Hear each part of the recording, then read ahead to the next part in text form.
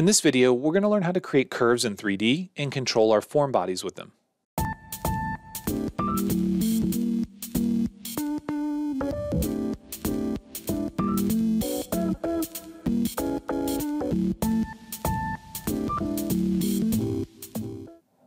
Hey everyone, this is Matt with Learn Everything About Design, and in this video, we're going to get into creating a form and using a 3D curve to help control its location. So let's get started by going to Create Form, and let's start by creating a couple sketches. We're going to first begin sketching on the right plane and ensure that we have 3D sketch turned off. We're going to start by creating a 2D spline, and we're going to just drag one from the left to the right, only with endpoints, and then hit Escape. We're going to go ahead and give it a very gradual curve, and then we'll finish the sketch. Next, we want to create a new sketch on the top plane. We're going to do the same thing, creating that curve out to the right and saying OK. I'm going to hit escape to get off my spline tool, and again, I'm going to give it a very gradual arc. When you're thinking about this, we want to project this curve and this curve normal to their sketch planes and create a curve in 3D where they intersect. In order to accurately control the endpoint locations, we want to use create project include, and project to bring either the entire spline or its endpoints down to our sketch plane. We're going to say OK, and then we want to create a horizontal relationship between those endpoints and our new spline. This ensures that we accurately control the exact distance or the endpoints of the projection. Now, because of the way that Fusion 360 works, we have to create a third sketch in order to project this in 3D. Let's go ahead and rotate this around. And now we want to go to Create, Project Include, and Intersection Curve. We'll select both of our splines, and you can already see a red preview in 3D. We'll finish the sketch, and we'll rotate this around, and now you can see that we've created that 3D curve. Let's go ahead, expand our sketches, and hide Sketch 2 for now, but we're going to leave Sketch, in this case Sketch 1, active, and Sketch 3, our projected curve. Let's take a look at one more way in which we can make this work. I'm going to start a new sketch on the top plane.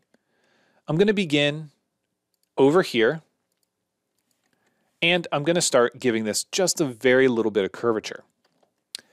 When we look at this, it's in 2D, it's flat on a plane, but we can actually create a 3D sketch directly from here by turning on the 3D sketch option. We can sketch in 3D if we have reference edges, but in 2D, what we're doing is we're simply sketching on a plane.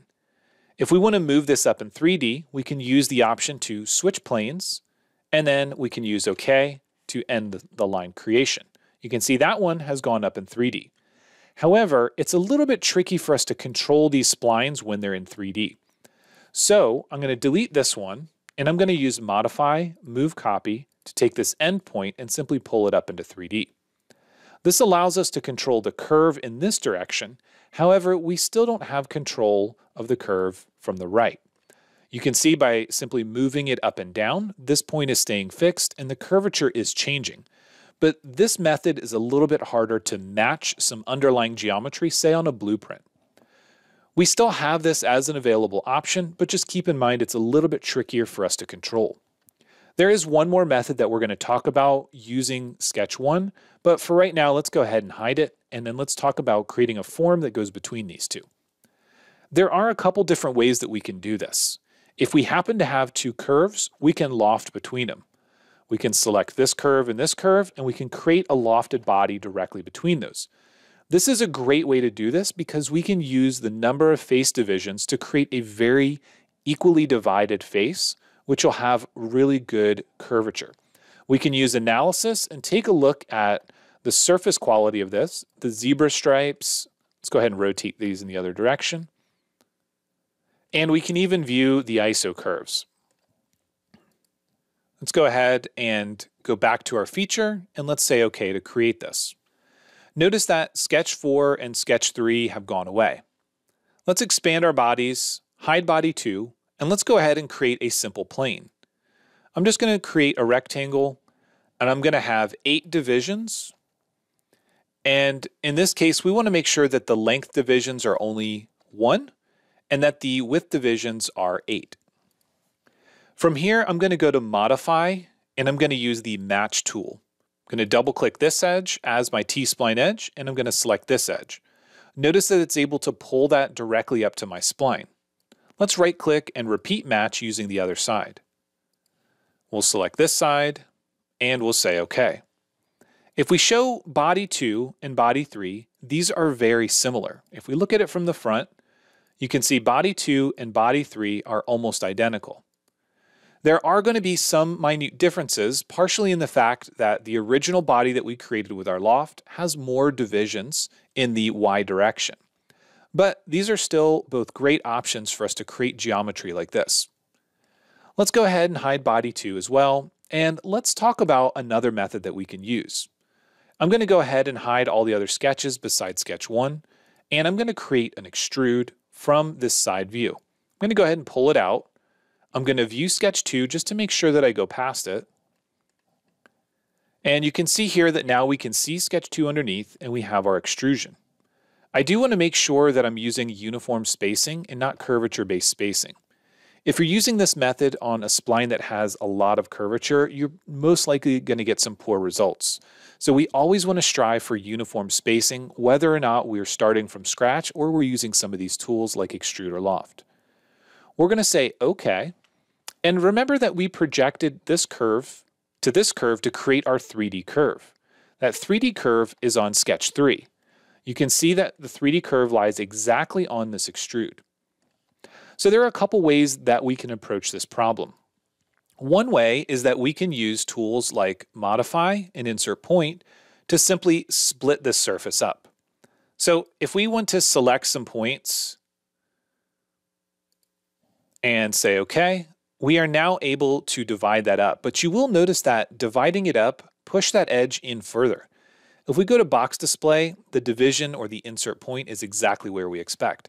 But you will notice that we created a straight line, and using this method, it's much harder for us to get that smooth arc transition.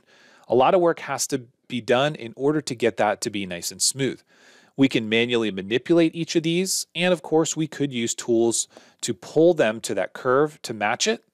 Let's go ahead and let's try pull. I'm going to go ahead and select these vertices And then I can use selected targets and select this curve. Notice that instantly it's causing a problem. And that's because I accidentally selected sketch 2. Let's make sure that we reselect the sketch target. And in this case, we want to use control points and not surface points. I'm going to say OK, and now we're a little bit closer to a good result. Another thing that we can do when we come into a situation like this is we can create this edge and get rid of the other edge. Now, I will say that this specific workflow is something I saw recently in a video by Giichi Endo. Now, he has some amazing car videos. There was a comment in one of my videos pointing me toward him, and I think he does amazing work, and this is a really great technique to use. It's something that does take a little bit of time to understand, and the ability to break up edges like this using those tools can be a little bit difficult at times to understand. So, if you're just getting started and you're trying to figure out how to create these curves in 3D, I think using the method of creating the 2D projections is likely the easiest one to control from a basic understanding. If we already have things like blueprints or product images, we have a reference where we can create those 2D splines and we can project them into 3D to get the edge exactly where we want it. Then we can use tools like Loft and actually create some sort of form body going directly to that edge. I plan to cover these techniques a little bit more in future videos, but I at least wanted to give a basic understanding of how we can create those curves in 3D and the different ways that we can use them in the Forms workspace. If you have any questions, please let me know. And as always, thanks for watching, and I'll see you in the next one.